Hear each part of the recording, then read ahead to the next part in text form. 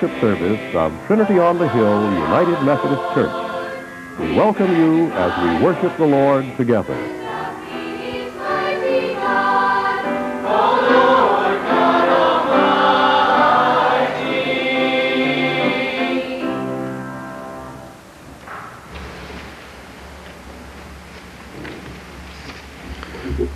Let us pray. O God, our Father, help us to worship Thee in the holiness of beauty, that some beauty of holiness may appear in us. Lift us above the shadow of sin, that we may find Thy will for our lives, through Jesus Christ our Lord. Amen. Good morning. Our opening hymn is number 124. Ask ye what great thing I know. Let us stand and as Richard lines out the hymn, let us speak to one another, welcome each other to this service uh, of worship through the, in the name of Jesus Christ. Hymn number 124.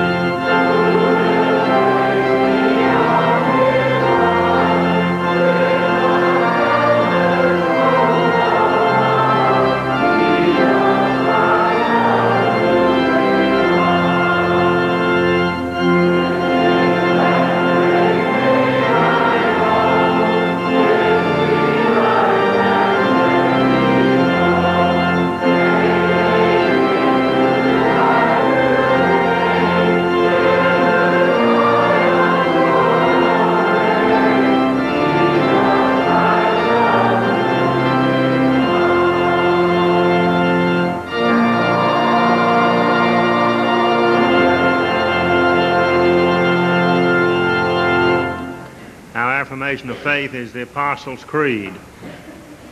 Let us unite in this historic confession of the Christian faith. I believe in God the Father Almighty, maker of heaven and earth, and in Jesus Christ, his only Son, our Lord, who was conceived by the Holy Spirit, born of the Virgin Mary, suffered under Pontius Pilate, was crucified, dead, and buried. The third day he rose from the dead. He ascended into heaven and sitteth at the right hand of God the Father Almighty. From thence he shall come to judge the quick and the dead. I believe in the Holy Spirit, the Holy Catholic Church, the communion of saints, the forgiveness of sins, the resurrection of the body, and the life everlasting. Amen.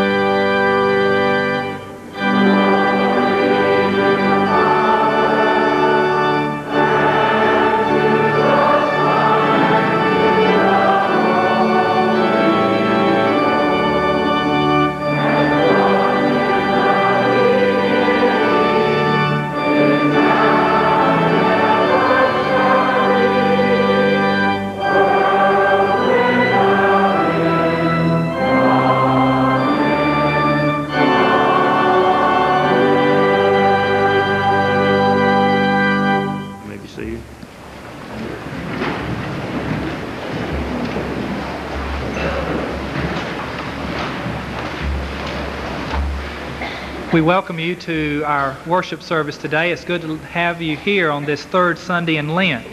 We would like to have a record of your attendance, so please take out the registration forms and fill in the who's who in the pew. If you're visiting with us, we're especially glad that you're here. We want you to fill this out completely, give us your name, your address, and your telephone number so that we can get in touch with you at a later time. As you look in your bulletin, there are a number of announcements that you see. There are a few that I want to call your attention to this morning. First of all, today we will be going by our regular schedule with the choirs, the MYF, the snack supper. We will conclude the day's activities with our evening worship service in the chapel at 7.30 p.m. Uh, tonight we will be considering Exodus 17, 3 through 7, and the grace of God. Uh, we have as our special music tonight uh, Miss Kelly O'Neill. Know that many of you will want to be here and to be a part of that service tonight. So we encourage you to come and be a part of our evening worship service as we have a little bit more of an informal worship tonight at 7:30. On Wednesday night we have our regular Wednesday night supper. These have been going very, very well over the last uh, few months.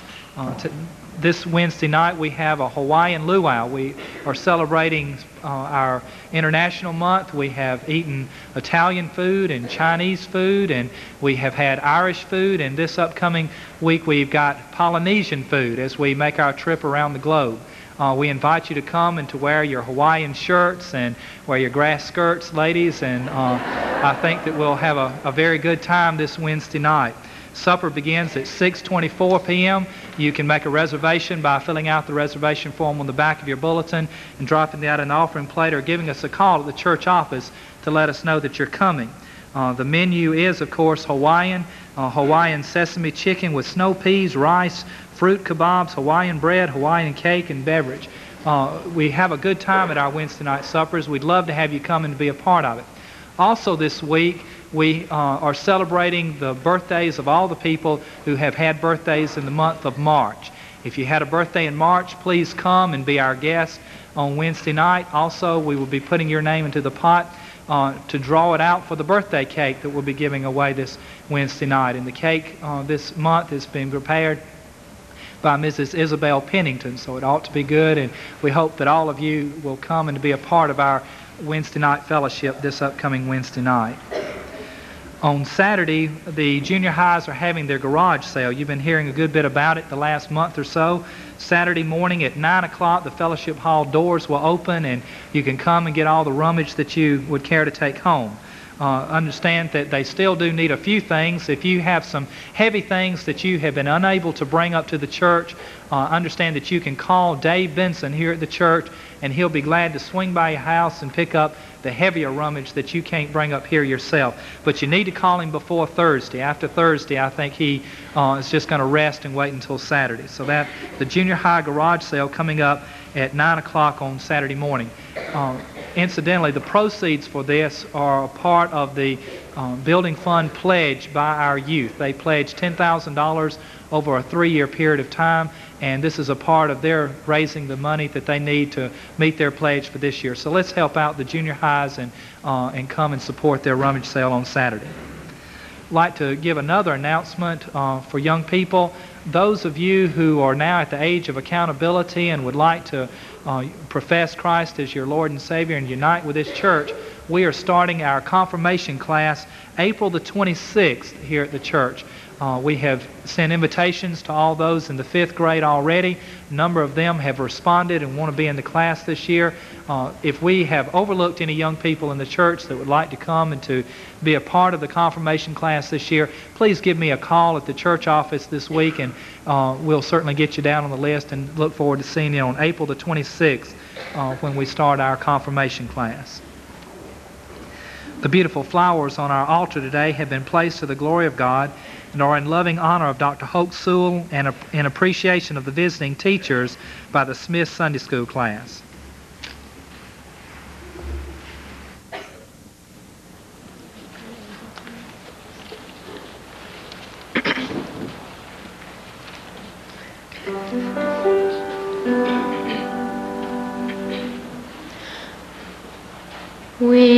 We've come to seek your face, O Lord.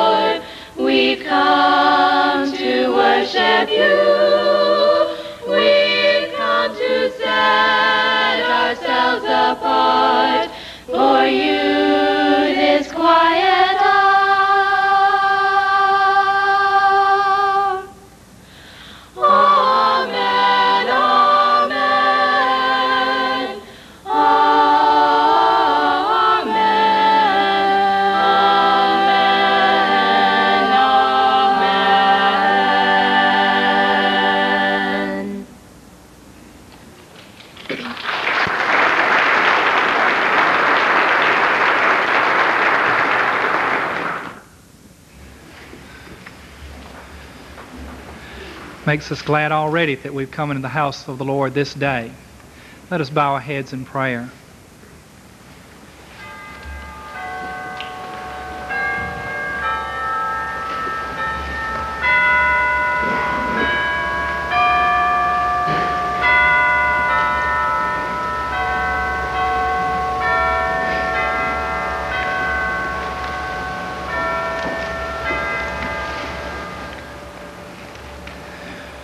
O God, our Father, in this sweet hour of prayer, we come humbly before Thee to make our prayer requests known. We are thankful for our Savior Jesus Christ. And in this Lenten season, we focus our eyes attentively upon Him, upon His life, upon His teachings, upon His death upon the cross for us. O Lord, we anticipate with great hope the celebration again of His resurrection. And we pray that Thou would impart Thy Holy Spirit upon us this morning to comfort us, to counsel us, to encourage us in this hour. We pray Thy blessings upon our church through which we worship and serve Thee. We're thankful for the many blessings of life that have been bestowed upon us through Trinity on the Hill, through the ministers that have served us, who have encouraged us, through lay people who have reached out to us and cared for us with genuine Christian concern. We're thankful for this youth girls ensemble that just sang for us. We're thankful that our hearts have been lifted to Thee this morning by the words of the hymns that we have sung. We're thankful for this opportunity of prayer, and we pray that Thou would bless us with Thy Spirit.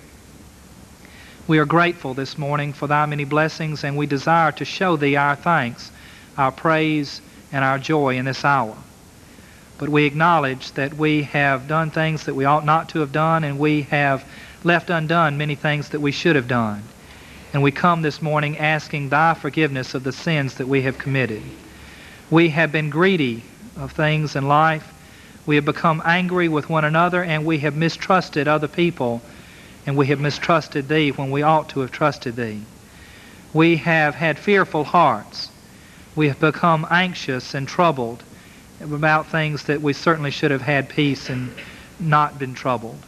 We have been indifferent to Thee, and we pray that Thou would forgive us for being defeated by doubt and having misgivings about our Christian walk. We pray that Thou would bring light to our path that we might not walk in darkness and that we might not sin against Thee. We pray this morning for those who are sick, who are lonely, who are alone, and who are in crisis situations. We pray for people everywhere who are facing tribulation and trial. We pray that Thou would strengthen them and encourage them and lead them not into temptation.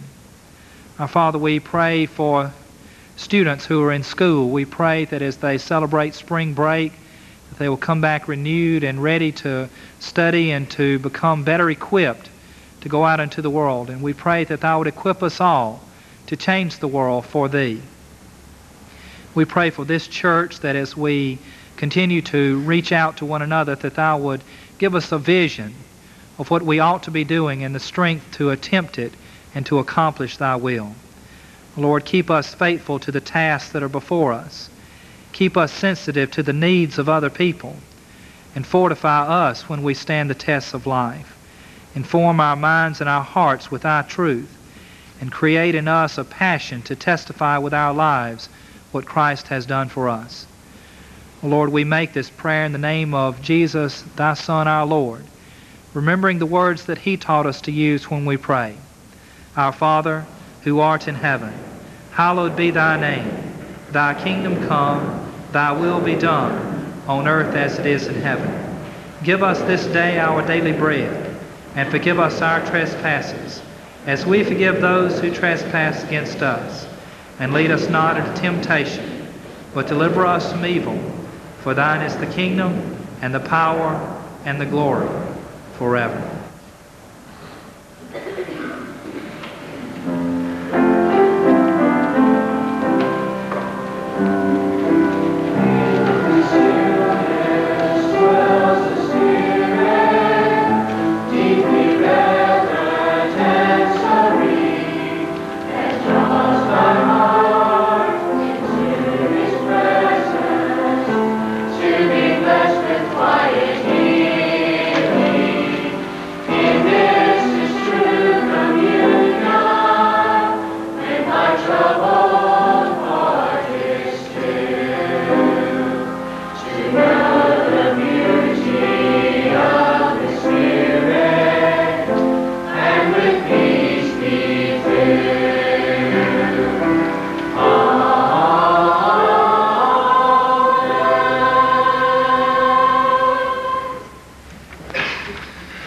Hymn of preparation is found on page 267.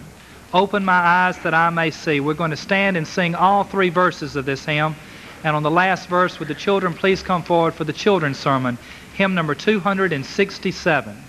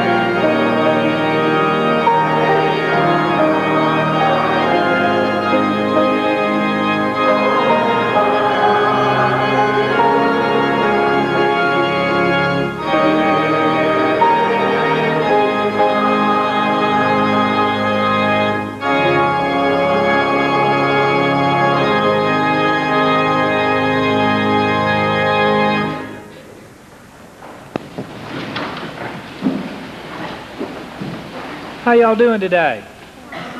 Good, good. I've got a story I want to tell y'all, but first, how many of you have ever seen a turtle? Has everybody seen a turtle? Yeah, most everybody's seen what a turtle looks like. they they've got a shell on the back of their, their back, and sometimes they draw all their legs and their head up in the turtle and the shell and everything, and you can't ever get to them. It's a very hard shell, but you know that shell looks like it's been broken, doesn't it? It's just got marks all over it, and it's just, it's just jagged, and it's real funny looking. And a lot of people have wondered why the turtle has that kind of a shell, kind of a rounded, but it looks like it's been cracked shell.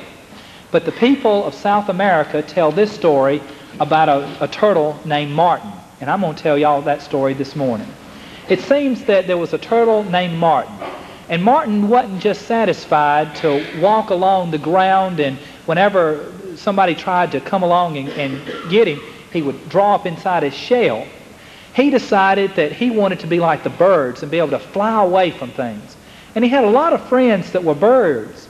And so he went and he told them his plight. He wanted to learn to fly. And they said, well, Martin, the first thing you need in order to be able to fly is, a, is some wings. So all the birds got together and, and decided that they would each take out one wing and uh, a feather and give it to Martin and thereby he could build himself some wings. And so that's what Martin did. He put them all together and tied them all together and put them up underneath him. And pretty soon he could fly like all the other birds. And he could go anywhere he wanted to. And everybody marveled at how Martin the turtle could fly. Well, all the birds got invited to a far-off mountain by Mr. Hawk.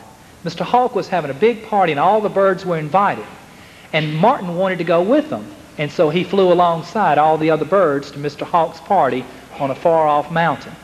Well, he flew over there, and when he got there, Mr. Hawk was kind of upset to see Martin there, and he said, you don't look like the rest of the birds. But the other birds said, oh, Martin's a good friend of ours.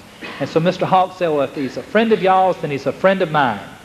But Martin had one terrible, terrible problem, and that was that he loved to eat.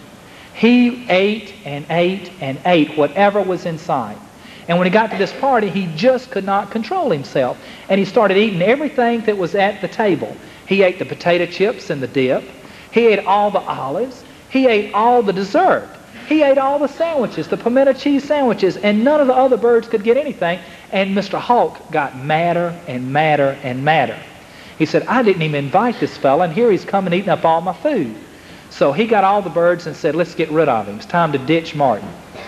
So all the birds started pecking at Martin and just trying, and Martin drew up into his shell, and they kept kicking him and moving him further to the cliff, and Martin went sailing right over the side of the cliff, and he broke the back of his shell. Well, he decided what he'd do is try to piece it all back together with cement and glue and everything, but it just never did quite all fit back together. And from that day on, the turtle has had a broken-looking shell. It's been pieced back together put back together because of Martin get, having it broken. Well, we know that things can get broken and it's hard to put them back together. If you break your mama's vase or a table lamp or something, it's hard to piece that thing back together and make it look like it did before it was broken. And that's the way it is also with some other things like promises. If we break a promise, it's hard to put back our relationship with another person. If we tell somebody, I promise I'll do this, and you don't do it, that person's going to be mad at you. And it's hard for them to get over that. So the thing that I'm trying to emphasize is every time you see a turtle, remember, don't break a promise because you don't want it, you can't put it back together the way it used to be. Don't ever try to, don't ever break a promise, especially a promise to God. Let's try to keep our promises and keep from looking like that turtle Martin. Let's bow our heads. Our Heavenly Father, we are thankful for thy blessings upon us, for these children, and for the lessons of life. We pray that thou would help us all to realize that it's very important that we keep our promises that we make to thee and to other people. Help us not to break our promises that we've made to thee, and help us to keep from being like that turtle Martin. Help us to keep our lives in order and keep our slates clean. For it is in Christ's name we pray. Amen.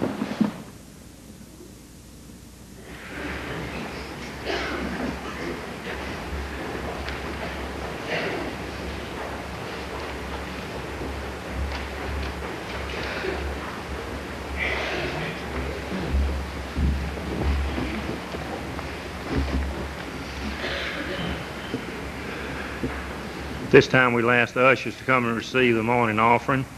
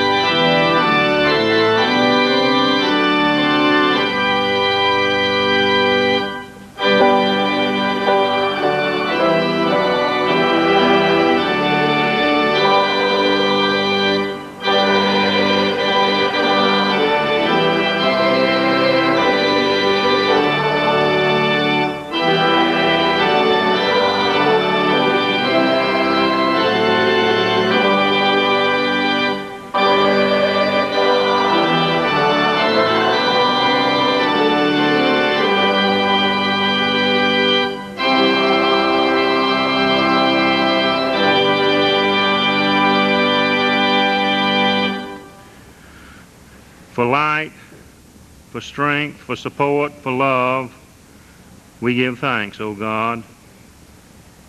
To bring light, strength, support, and love to others, we dedicate these gifts and our lives to the service of your kingdom in Jesus Christ our Lord, in whose name we pray. Amen.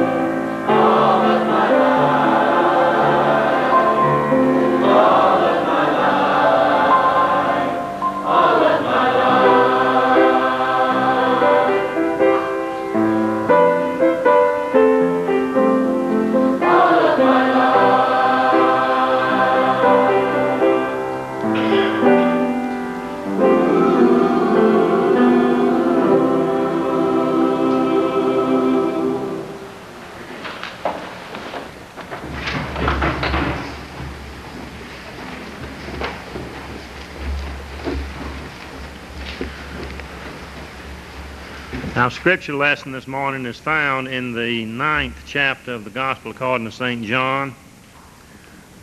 I'll be reading verses 1 through 12. Now, as Jesus passed by, he saw a man who was blind from birth. And his disciples asked him, saying, Rabbi, who sinned, this man or his parents, that he was born blind? Jesus answered, Neither this man nor his parents sinned, but that the works of God should be revealed in him. We must work the works of him who sent me while it is day. The night is coming when no one can work. As long as I am in the world, I am the light of the world. When he had said these things, he spat on the ground and made clay with the saliva and anointed the eyes of the blind man with the clay. And he said to him, Go wash in the pool of Siloam, which is translated sent. So he went and washed and came back seeing. Therefore the neighbors and those who previously had seen that he was blind said, Is this not he who sat and begged? Some said, This is he. Others said, He is like him. He said, I am he.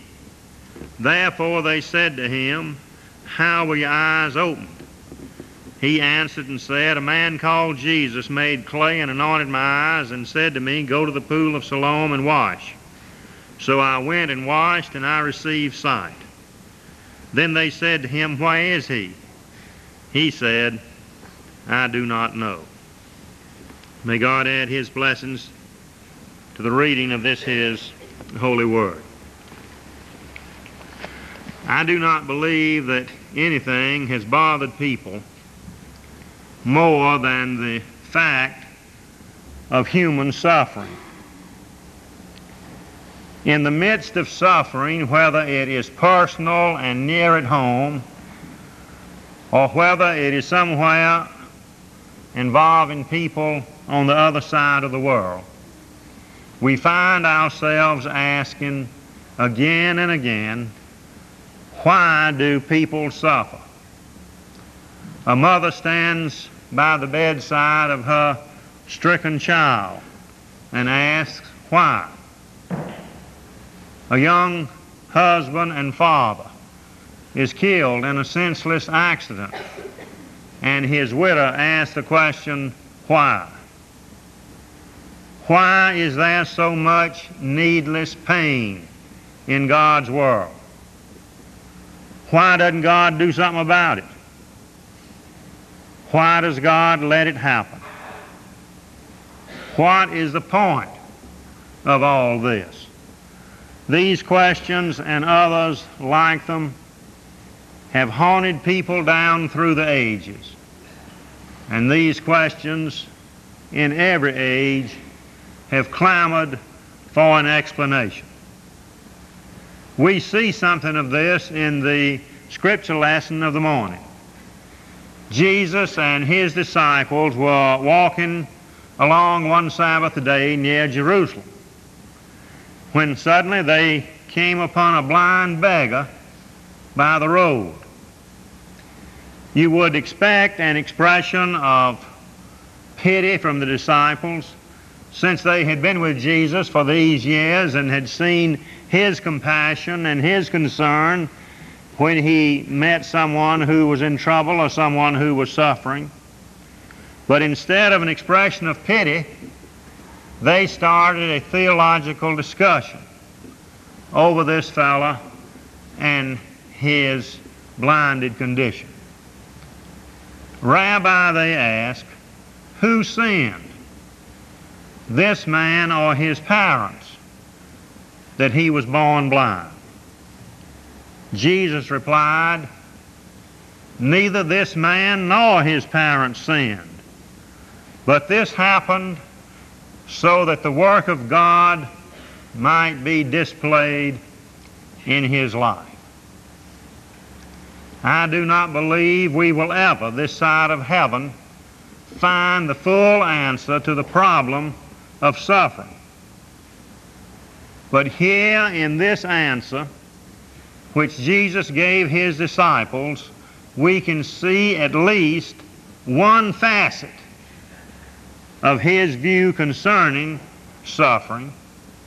And from this one facet, we can learn some important lessons about suffering and about God's glory in suffering. Basically, basically if you, as we read these verses, we find Jesus teaching the disciples three lessons. Three lessons can be gleaned from these words of Jesus. The first lesson is this all suffering is not due to sin.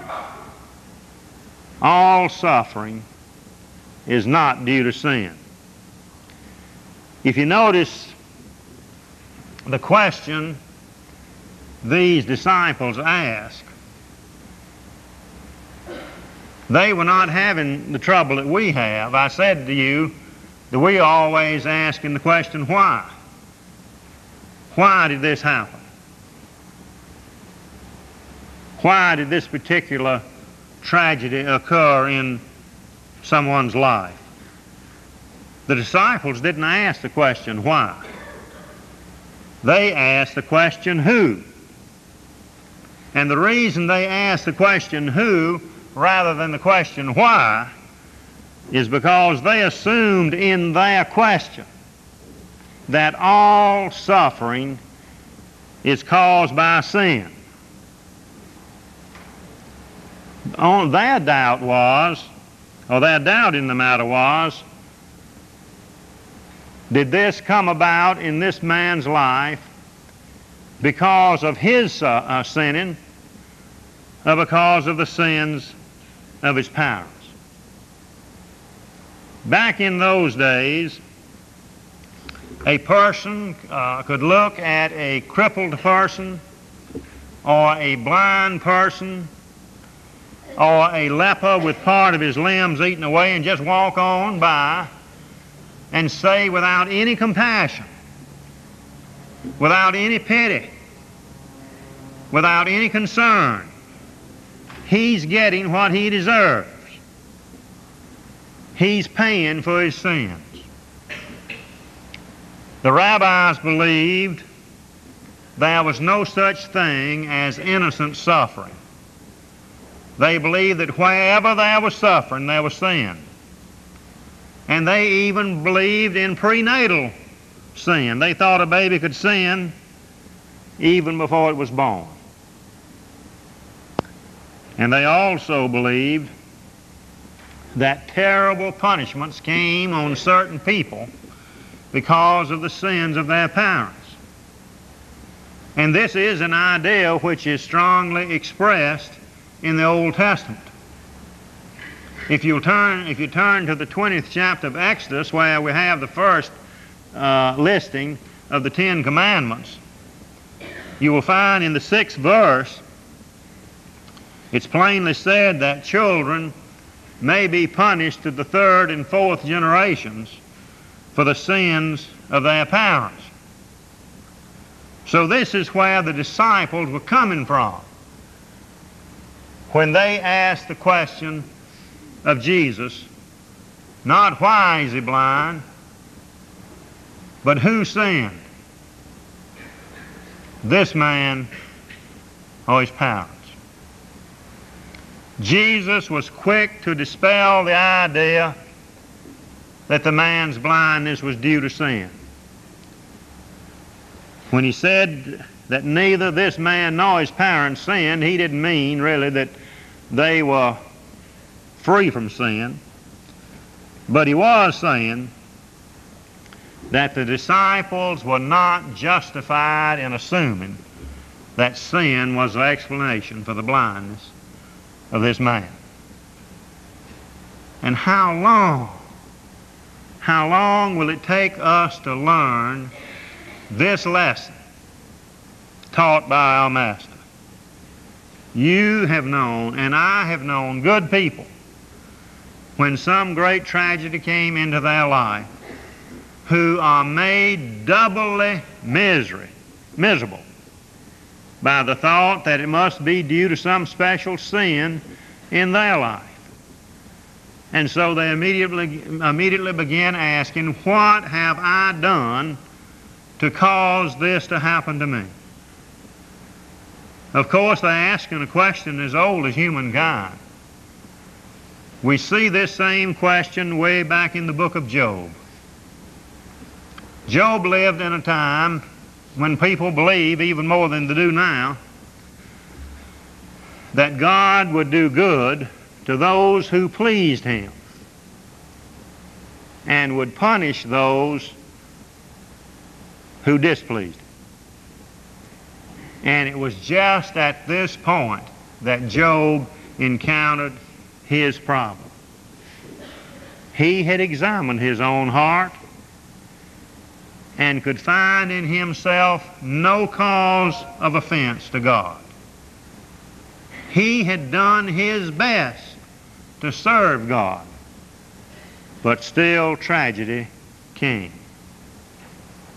Now, no one can deny the terrible consequences of sinful living.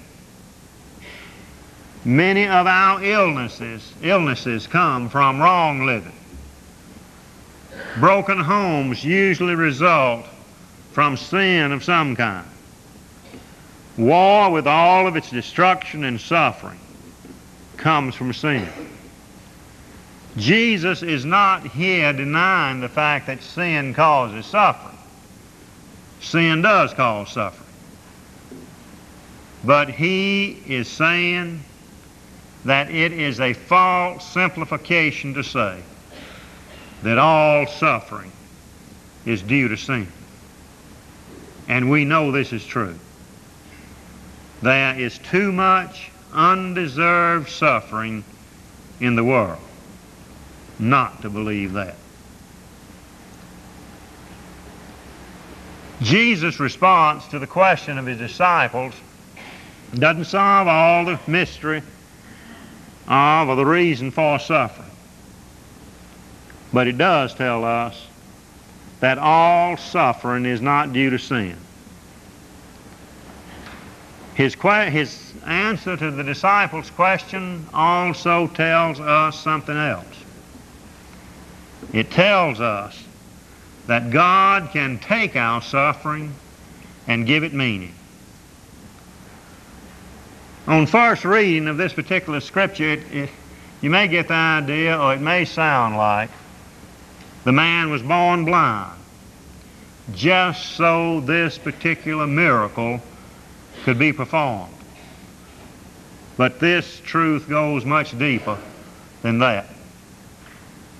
Dr. West, uh, Leslie Weatherhead, the well known English preacher, has done the entire Christian community a great service by publishing his thoughts on the will of God in a little book simply entitled The Will of God.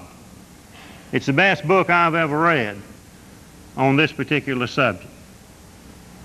And in that book, Weatherhead says that a lot of things happen to us that are not the will of God.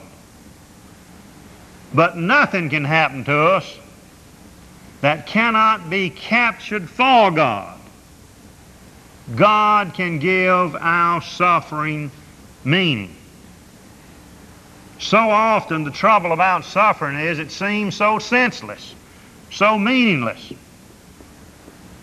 We will endure almost anything if we can see some meaning in it. And this is what Jesus is trying to show us here. He is saying that God can do something with this man's suffering and so give meaning to it. In this particular instance, God took the suffering away and afforded this man a great faith. In other times, in other instances, he does not take the suffering away. But he does use it redemptively. Dr. Arthur Gossip tells of a minister whose wife died suddenly, leaving him utterly desolate. After a time, this minister wrote a sermon in which he reached out to get hold of the hand of God in this terrible tragedy in his life. Several years after he preached this sermon, the sermon was published. And since the publication date until the time of the minister's death, hundreds of letters came to him from all over the world telling him that it was not for nothing that his heart was broken. Two people who had been through deep waters wrote, It had to break, that God through you might help and steady and save our stunned, lost souls. My friends, we can't understand all the reason for suffering.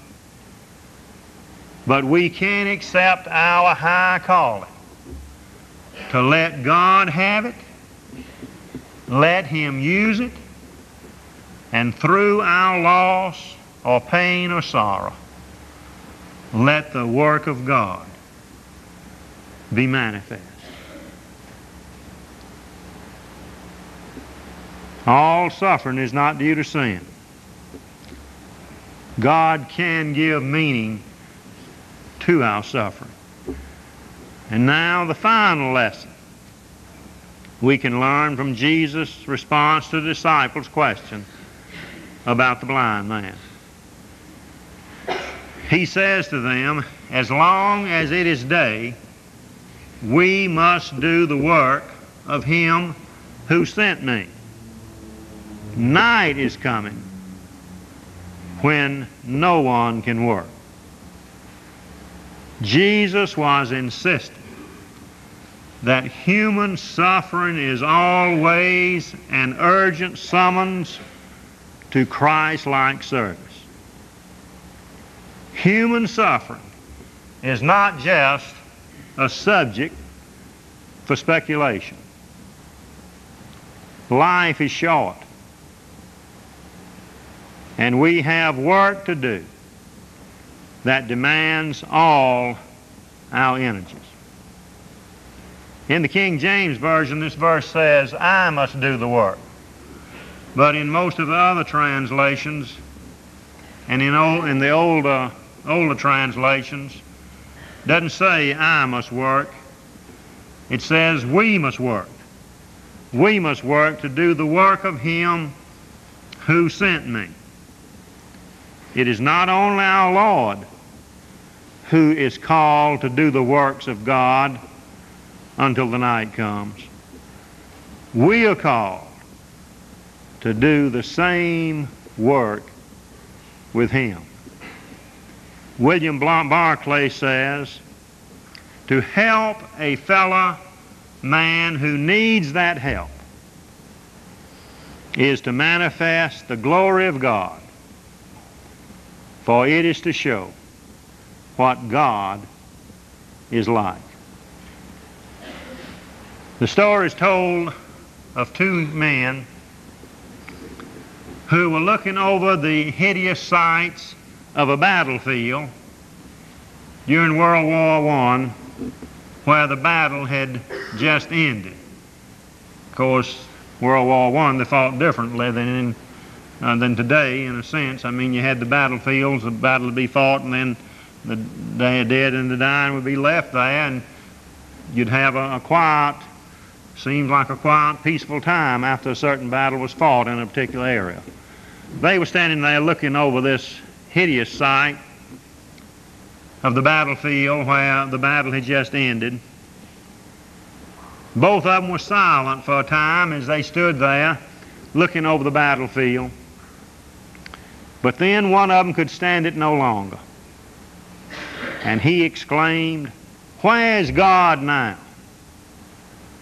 Where is He in all of that down there?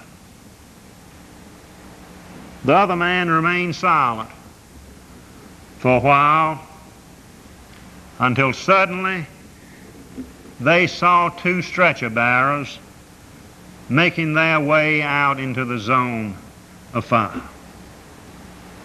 Then the second man exclaimed, There he is. There's God now. To help a fellow who needs that help is to manifest the glory of God. For it is to show what God is like. So the lessons the disciples learned that day when a blind man was healed in Jerusalem are these. All suffering is not due to sin.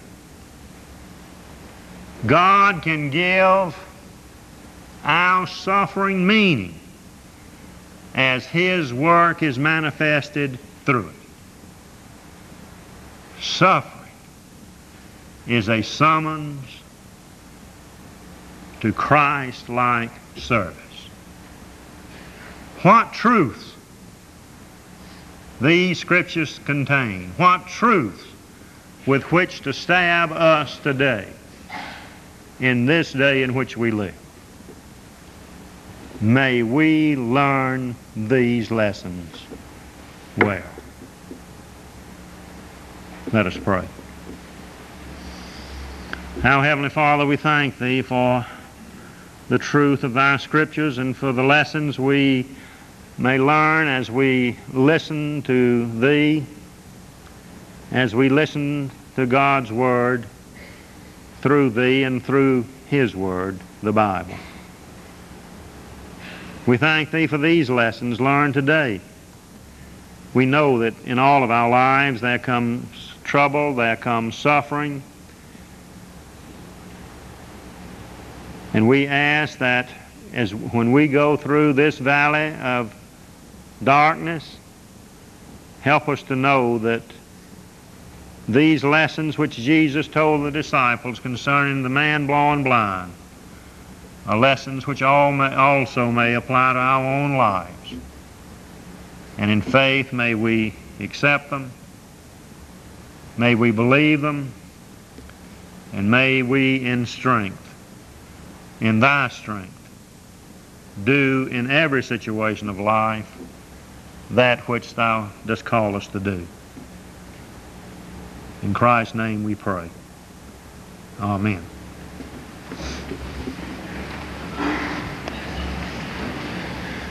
Our closing hymn is number 107.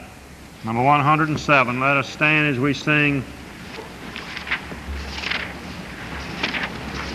all verses of Jesus calls us over the tumult.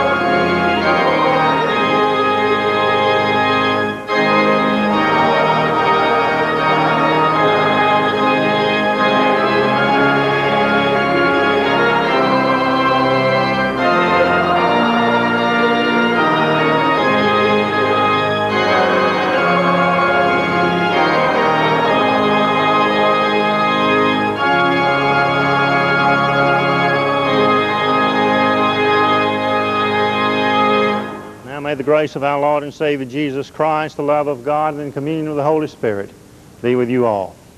This